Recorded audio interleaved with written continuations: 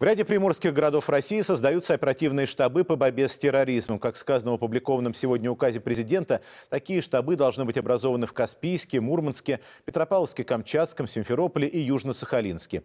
Одной из задач будет управление контртеррористическими операциями в территориальных водах, исключительно экономической зоне, на континентальном шельфе России, а также на судах, ходящих под государственным флагом Российской Федерации.